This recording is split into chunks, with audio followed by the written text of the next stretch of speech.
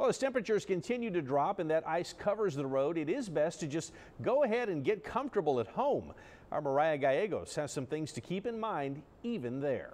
While it's now a little too late to do those outdoor preparations ahead of this storm, there are still a few things you can do from the comfort of your home. I have here my checklist that we can check off together. First, keep open the cabinet doors under your sinks. This allows for the warmer air inside of your home to circulate to the pipes that are underneath. Second, if you can, turn your thermostat down 2 to 3 degrees.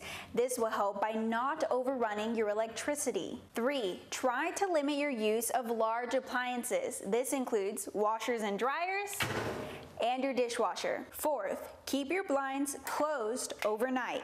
This helps to keep the heat inside. Fifth, allow at least one of the water faucets to drip over the next 24 hours. This helps prevent the pipes from freezing. And lastly, if you have a plug-in uh, heater, don't put it by anything that could catch fire you want to make sure that you keep a clear area around any heating element that's there. Now, aside from the traffic calls that first responders are preparing for, they say this is also a time when they see structural fires because of those heaters. So they're asking everyone to use those with caution and stay safe. Mariah Gallegos, 3 News.